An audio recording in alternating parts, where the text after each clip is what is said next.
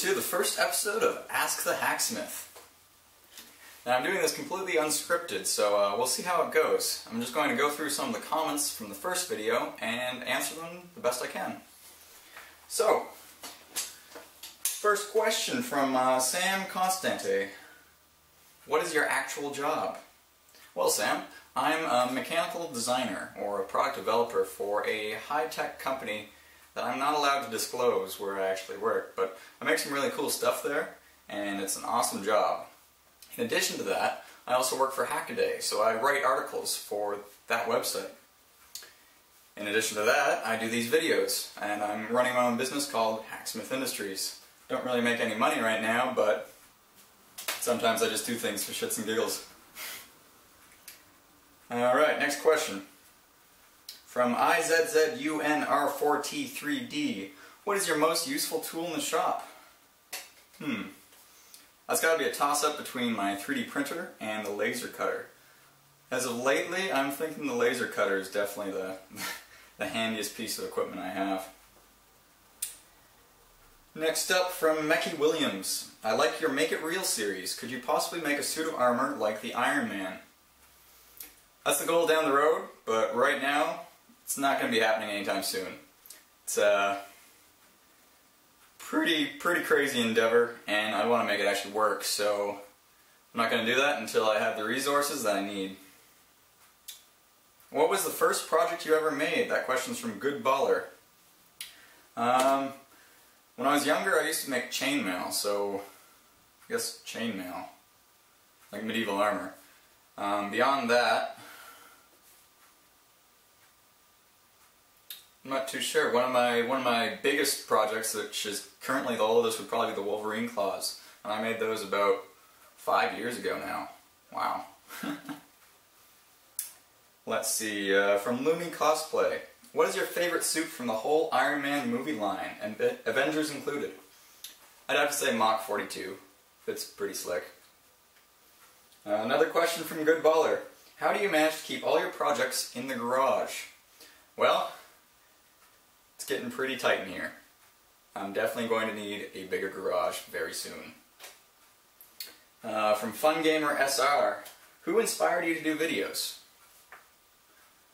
That's hard to say actually. I wasn't really inspired by anyone. I just started making videos when I was back in high school and I just really liked liked doing it, so I continued doing it. Um, what am I studying from Furco 2? I am no longer studying, but I did go to school for mechanical engineering. Um, in addition to that, Amber Hammer Dollar says, What college did you go to for mechanical engineering? I went to Conestoga College, which is in Kitchener, Ontario, Canada. It's a great program and it's called Mechanical Systems Engineering. It's a Bachelor of Engineering and it takes four years to complete.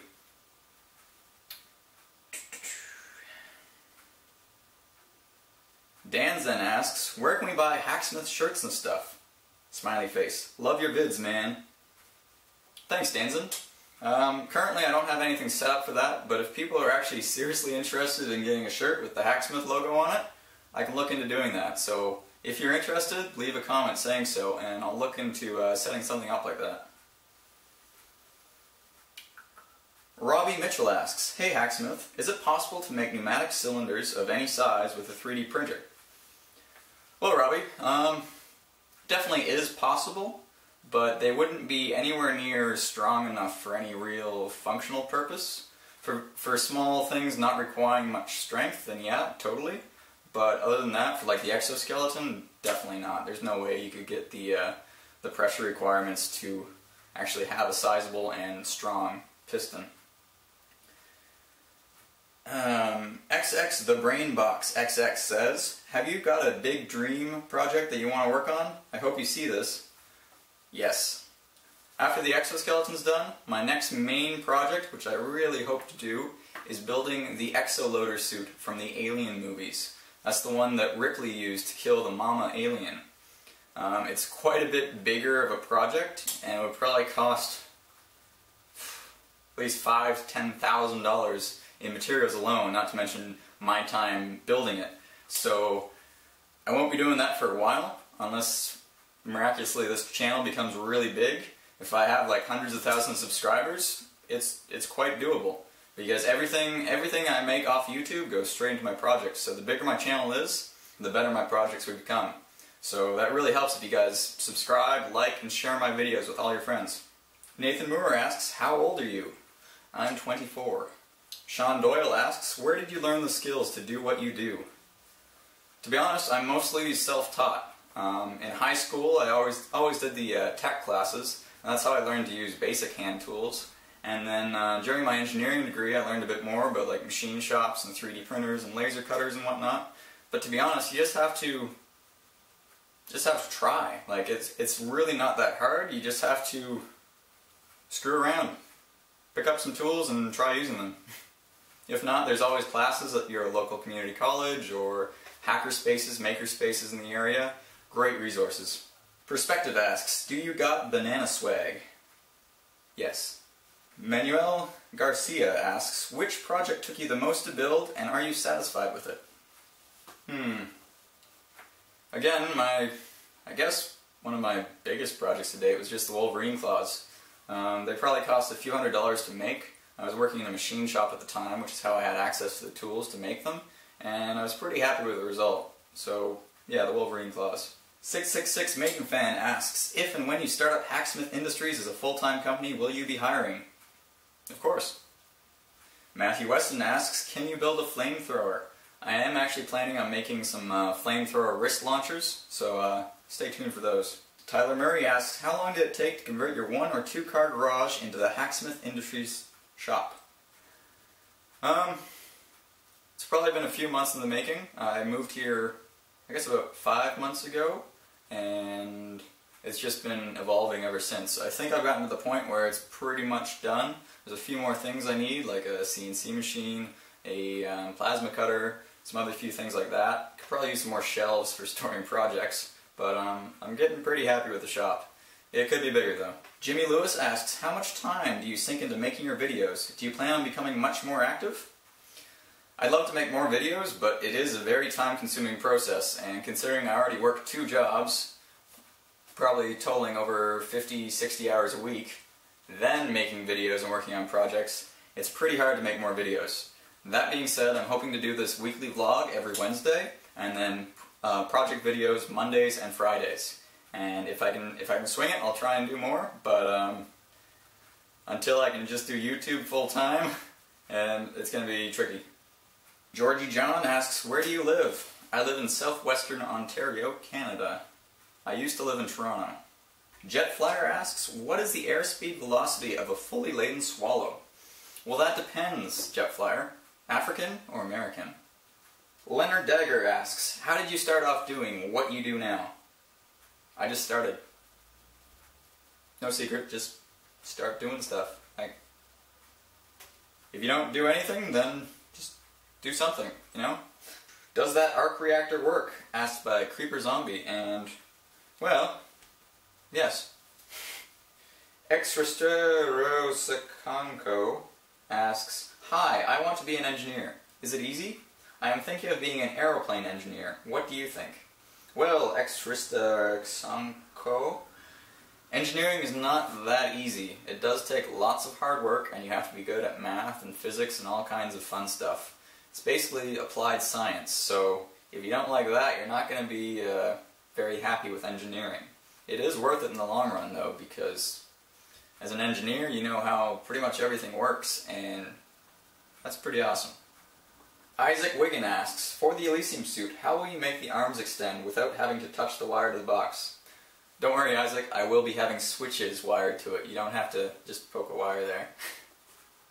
Sam Durpus asks, is the exoskeleton going to be completely portable? Yes. First Pal asks, what do you do for a living and how do you find time for YouTube? I'm a product developer, like I said, and um, it's pretty hard to find time because it's basically all I do. Ackman Raw asks, when is the exoskeleton project done? It'll be a while, but like I said in the last video, I'm hoping to have it finished by uh, end of August.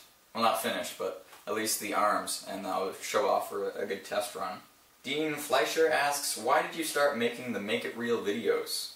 Well, Dean, um, in today's day and age, we're finally getting to the point where we can make some of that stuff that you've seen in movies and TV actually real. So that's my inspiration for it, because who doesn't want a working Iron Man suit or Elysium or Wolverine claws or whatever? I just think it's really cool. Try installing pulse jets in your exoskeleton so that you can hover on it. That's from uh, Akalesh Ezra. I'd love to, but I don't think that's really feasible. But we'll see. Jody asks, do you sell any of your projects?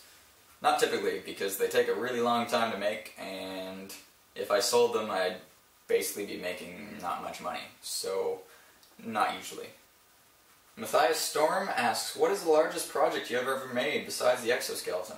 That would have to be the 1993 Honda Del Sol, which I converted to electric using the guts of an electric forklift. Those are some pretty cool videos, so you should check them out. They're from a few years ago, though, so you gotta dig back in my channel. Good Baller asks, what age do you start lifting weights? Well, Good Baller, I actually just started lifting weights about a month ago.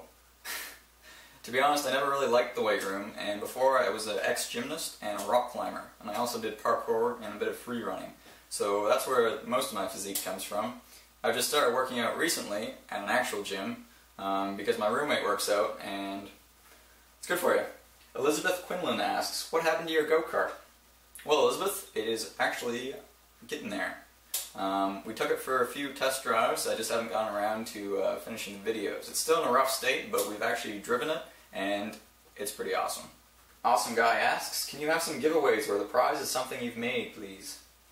At some point, yes. Maybe not right now, but soon. Rock climber Jenna asks, besides building things, what are your hobbies? I used to do a lot of rock climbing, coincidentally. Um, Used to do uh, free running, parkour, gymnastics. Um, I ride a motorcycle, that's pretty fun. And I love to get into hang gliding and some other extreme sports like that, because that's, that's a lot of fun. I also swim. John Mayer asks, on a scale of 1 to 10, how much swag will your exoskeleton add? 10. Alright, one last question from uh, Stub Ryanful. Here are a few questions so that you have another sip of tea before you answer them. Alright?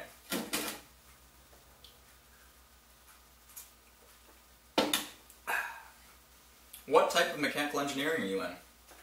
Uh, I studied mechanical systems engineering, so that's mechanical, a bit of electrical, and even some automation. Um, but the beauty of mechanical engineering is once you have a degree in it, you can really go anywhere. I could go into aerospace or um, industrial design. There's tons of stuff I could do. Um, right now, I like mechanical stuff. Not too crazy about electrical. Um, I like just making things out of metal and stuff, you know? uh, what was your first project you made?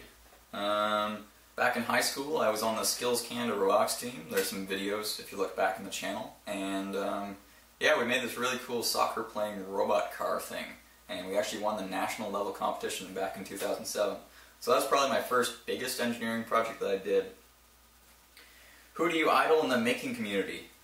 That would have to be, have to be the guys from Mythbusters, because honestly, they have the best job ever. I would love to do stuff like them.